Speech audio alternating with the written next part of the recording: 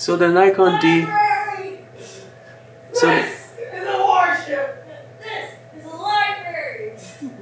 You can't escape. now recent. This is a library.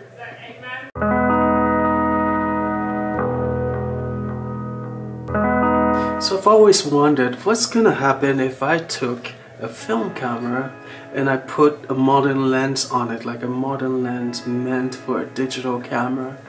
Now recently I took my AFS Nikkor 55 to 200 millimeter lens. That's this one right here for a spin on my Nikon F50 camera. The results that I got were interesting. there was quite a bit of vignetting on my images. And the reason is that this lens even though it fits perfectly on a full frame film camera like this this lens was made for a crop sensor. It was built for a crop sensor digital camera.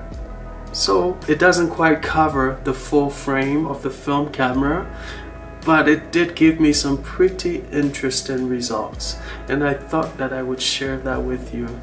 Now these results, um, some of you may like it, some of you may not like it. I think it's actually a pretty cool effect. I'm gonna show you guys the images that I got from this experience and let me know in the comment section what you think.